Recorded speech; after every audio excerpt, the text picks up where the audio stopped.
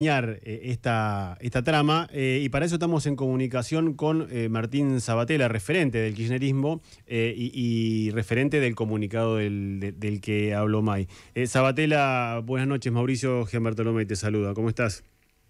Hola, ¿qué tal? ¿Cómo te va? ¿Cómo les va? Buenas noches. Gracias por atendernos. No, gracias a ustedes. ¿Apoyan la candidatura de, de Daniel Scioli y le dan los avales? No, a ver, no estamos apoyando la candidatura de Daniel Scioli. Lo que decidimos hacer es este, este, ayudar a juntar los avales que Scioli no puede juntar, eh, porque evidentemente no tiene el apoyo político ni la estructura para, para lograrlo. La verdad que me estaban disfrazando una falta de apoyo político, falta de estructura, falta de militancia, falta de anclaje territorial, estaban disfrazando de persecución reglamentaria y nosotros la verdad que nos parecía que estaba mal que se victimicen este y por lo tanto dijimos bueno nada este nosotros entonces vamos a ayudar a hacer lo que tendrían que hacer ellos no nosotros porque eh, quien tiene que juntar los avales es el candidato que tiene ganas de ser justamente candidato a algo y tiene que convencer a afiliados de que lo acompañen que lo avalen. Pero más que una ayuda parece una acción para exponerlo a a, a, Scioli y a su equipo no, bueno, es que durante toda esta semana estuvieron diciendo que eh, nosotros, los presidentes de los partidos, no le queríamos dar los avales. Hay un error conceptual. Nosotros no somos los dueños de los avales. Los partidos constituimos alianzas, establecemos reglamentos, que en el caso de, nuestra nuestro frente, este, el reglamento fue aprobado por el 100% de los partidos políticos que conformaron este, este frente. Eh, establecemos el reglamento y después cada uno que, que quiere ser candidato, si cumple los requisitos, es. Pero no son las estructuras partidarias quienes salen a este, a, tener que garantizar lo que el candidato, los requisitos que el candidato necesita. De hecho, un, mismo partido puede tener dos, tres, diez candidatos o candidatas. Entonces, esa estructura, ¿a quién tendría que, sostener? Lo que le digo es, es, el propio candidato el que tiene que convencer a un afiliado del partido que sea de cuáles son los motivos por el cual esa persona lo tendría que avalar. Entonces, ponen la responsabilidad en las conducciones partidarias de algo que tiene responsabilidad de, de quien quiere ser candidato o candidata. Y los requisitos son justamente porque se, piensa que quien, quien quiere ser candidato tiene que tener un piso de apoyo, un piso de aval, eh, tiene que tener candidatos y candidatas, por ejemplo, en el conjunto de los municipios, tiene que tener candidatos y candidatas a consejeros escolares o consejeras escolares, a concejales, este, a, diputados, a senadores, a intendentes. Eh, en la provincia de Buenos Aires, por ejemplo, en los 135 municipios, si una, si una fuerza política o un candidato tiene, por ejemplo, 2.700, 2.800 o los candidatos o candidatas necesarias, no tendría que tener ningún problema para juntar los avales. Ahora, no es responsabilidad nuestra, sino es responsabilidad del candidato o candidata hacerlo. Evidentemente, esa dificultad, esa falta de apoyo, esa falta de apoyo político, esa falta de estructura, esa falta de militancia, este, hace que no puedan juntar los avales. La verdad, para que no se victimicen, para que no pongan la responsabilidad fronteras afuera de este, su propia fuerza, dijimos, bueno, nosotros te vamos a ayudar. Ah, tenemos que tener algún motivo para eso. La verdad que yo a los afiliados del nuevo encuentro no los puedo obligar a que avalen algo que no quieran.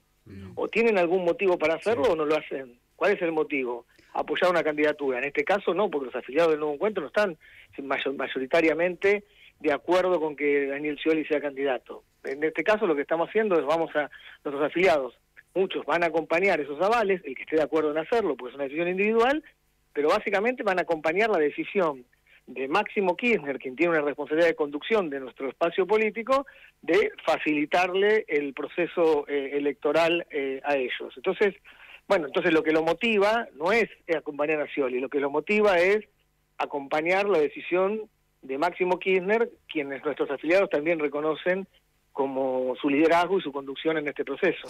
Martín, buenas noches. Maya Castrolansky te saluda. Hola, ¿cómo te va? Buenas noches. ¿Qué tal? Ahora, eh, ustedes dicen Scioli no llegó a juntar esos avales que necesitaba eh, el, digamos, la gente de Scioli, el ciolismo les manifestó que no tenían esas firmas que necesitaban. Y, de hecho llamó a nosotros, me llamaron a mí, yo lo cuento esto porque Aníbal lo contó en televisión, si no no lo contaría porque eso fue una conversación privada, pero como Aníbal lo contó hoy en C5N, lo cuento, sí es cierto, nos llamaron por teléfono a los presidentes de los partidos pidiéndonos los avales y nuestra respuesta fue yo no tengo un banco de avales, no, no están en una góndola este, los avales, son decisiones voluntarias, este, individuales o colectivas de un grupo que decide apoyar algo. Entonces no es una decisión mía que avalan o avalan este, los afiliados. Hay que bueno, finalmente va a ser así, ¿no? Finalmente va a haber una conducción. Sí, pero bueno, pero acá lo que hay es una decisión. Pues, pues, ahora lo que hay es una decisión y hay una hay una convocatoria. Yo voy a,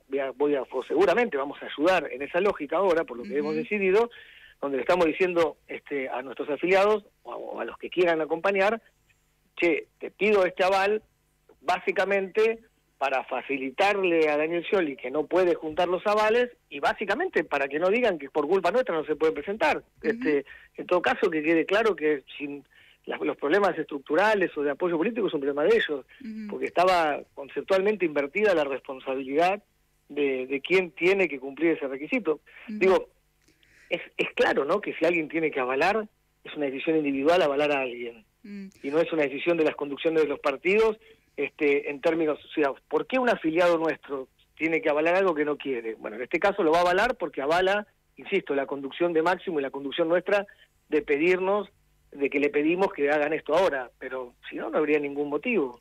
Estamos está claro que hay una debilidad, y aparte nosotros es pública nuestra posición política, que quisiéramos que haya síntesis, que quisiéramos que haya unidad, que creemos que no es bueno ir a las pasos ahora, que habría que hacer un esfuerzo por una lista de consenso, porque creemos que tendríamos que dedicarnos fronteras afuera de nuestra de nuestro frente a discutir con la derecha voraz, saqueadora, que viene a, destruir la Argentina, que viene a hacer lo que ya hicieron, que viene a que retrocedamos. Entonces, nuestro, nosotros creemos que el esfuerzo hay que ponerlo fronteras afuera para discutir con esa derecha saqueadora que, como está pasando hoy en Jujuy, este, vienen a hacer esto, que es este, quitar derechos este, de protesta a la población, este, quitar derechos ancestrales sobre la tierra a los pueblos originarios, este, eh, cantidad de cosas. Bueno, nosotros queremos eso. Se sabe que nosotros queremos que haya una unidad. Por lo tanto, los afiliados no están de acuerdo con que exista esto. Pero bueno, hoy lo que vamos a hacer es sí, vamos a facilitarlo en el sentido de que vamos a nosotros ayudar a, a, convocar a estos avales,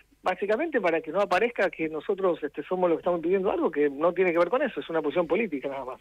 Hablamos con Martín Sabatella, presidente nacional de Nuevo Encuentro. Martín, te hago la última. Eh, más allá de todas estas cuestiones reglamentarias, da la impresión de que nada de esto amedrenta, digamos, a Scioli y que él viene manifestando y todo su equipo que van a seguir adelante, se van a presentar con su lista el sábado. Eh, ¿cómo, ¿Cómo termina esta historia? la decisión de Scioli de presentarse en La Paso, eh, ¿modifica el candidato que va a elegir el kirchnerismo?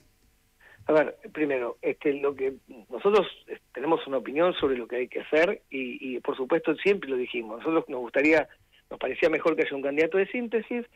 Ahora, está la ley de pasos, si no hay síntesis hay pasos. Entonces, y eso es una discusión política.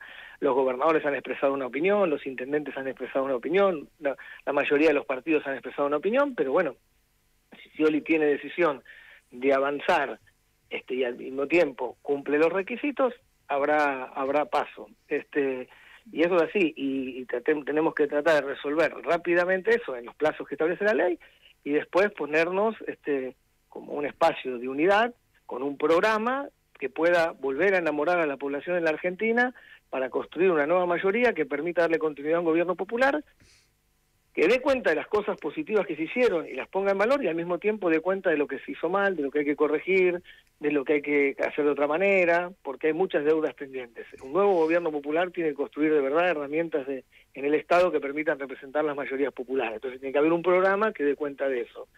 Y ese tiene que ser el principal acuerdo. Y después, como cerrar filas, obviamente, en una propuesta de cara al proceso electoral para enfrentar a esa derecha voraz, saqueadora, represiva, como lo estamos viendo.